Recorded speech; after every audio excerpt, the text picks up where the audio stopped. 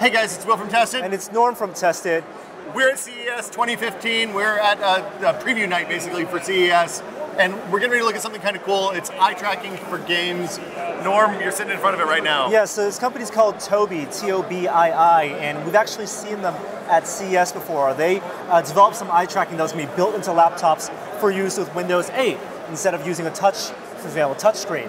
With, um, with, the eye toward like assistive technologies helping disabled people and stuff right. like that. And they've kind of pivoted to use the same eye tracking technology, but to now have an actual hardware product for games. So this is something you can buy right now. Their partner is SteelSeries, the $200 eye tracker, but the demo is here. I'm going to try the demo right now. I'm going to run you through the calibration and talk it through. So what it is is basically there's a bar that you have below uh, below the monitor. Here, those your eyes. Those my eyes. Blink, um, blink the right eye. Right eye, there we go. Now left See? eye? Left eye. That's amazing. Wow, it's like I'm at no, the... I'm, in, uh, I'm in, give me, where's my $200? Uh, it's, it's like uh, I'm at the eye doctor. Um, and uh, the sensor is an IR sensor. There are three IR lights, and to calibrate, you just stare at nine dots. Um, it needs to be below the screen, so that's why they have it working on a laptop right now, but it can work on a desktop. I asked if you could use it for something like a 30-inch monitor. And it works even no though problem. you have glasses on, right? It works even though I have no gla- even though I have glasses on, and it basically is looking at the whites in your eyes and uh, the distance between your eyes.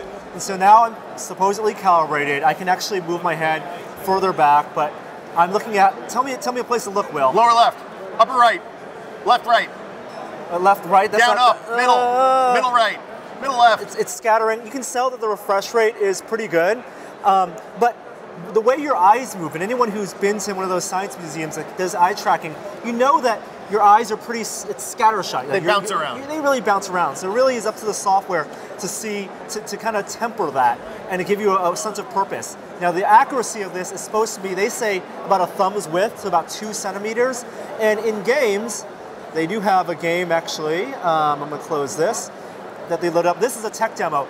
In games, a third person action game, you have your mouse control and you have your movement control, you can now use your eye tracking, for example, to pick up that rock. Whoa! Now, Will, tell me, uh, give me a point on the place on the screen where I'm going to throw this rock. Uh, I want you to throw it at that tree. There it goes. Your hand's on the mouse. How can I tell that you're not cheating using the mouse? Because I'm, I'm moving, I'm looking what, in one direction. dead lizard man? That's I, I want to move throw this straight up in the air. I can move. Pick up the fire. Uh, I can't pick up the. Oh, I oh, can't. you can. Let's see if I want to throw a fireball Cast right there. magic missile. Uh, that's something I can throw. Throw it, throw it at the third dune on the left, right there. That that. Oh, you got a rock. Okay, so I pick a rock up. Let's say I want okay. to throw it right there. Let's see how accurate that is. I'm looking right there right now. Wow. That's okay. Pick up the giant carrot. Now throw That's, it at the dinosaur bones. Let's say the dinosaur bones right there. Right here. I'm not moving the mouse at all. I'm looking at it. You have to press the button to fire. And I'm right? pressing the button to fire. Kind of a weak arm there, Norm.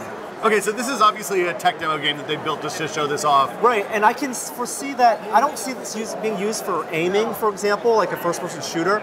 I could see being used as an alternative to existing technologies like TrackIR, which is something that does head tracking mm-hmm. for a game like a, a, cockpit simulator, like Elite Dangerous, where if I'm not wearing a head tracking device or doing head tracking, I can use it to look at UI elements. So if you're not wearing VR goggles, you're looking at a traditional monitor. I can use it to activate a menu on the left, a menu on the right.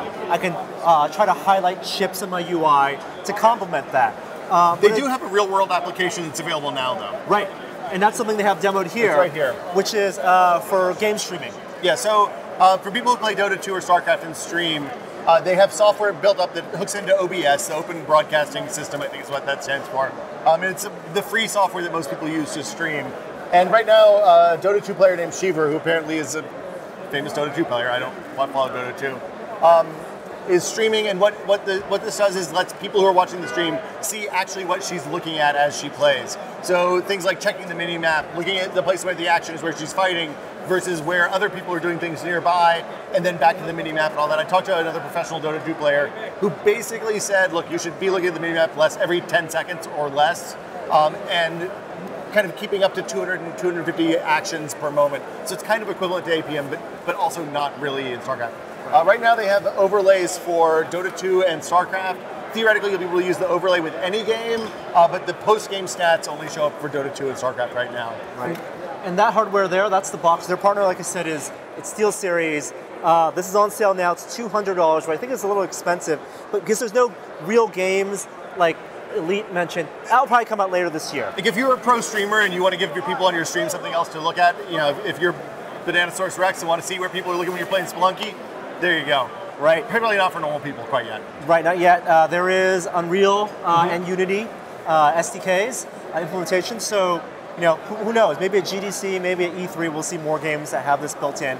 But eye tracking, I think you can't think of head tracking as the only thing.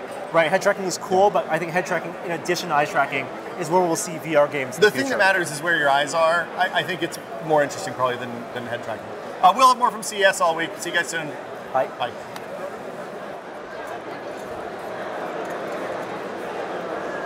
Couldn't throw that big carrot, but you can throw that rock really far.